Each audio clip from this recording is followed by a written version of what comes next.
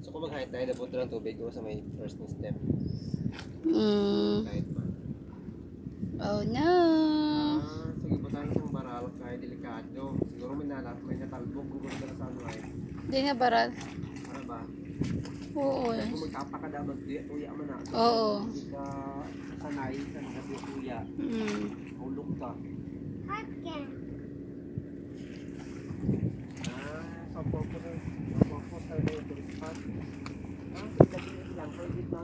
Again?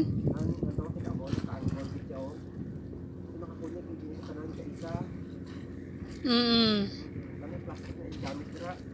tubo ba ng pipe doon, yung blue? Na, ibay pa to.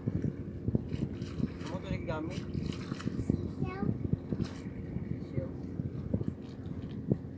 Tapos gibutangan ng nasang ng plastic.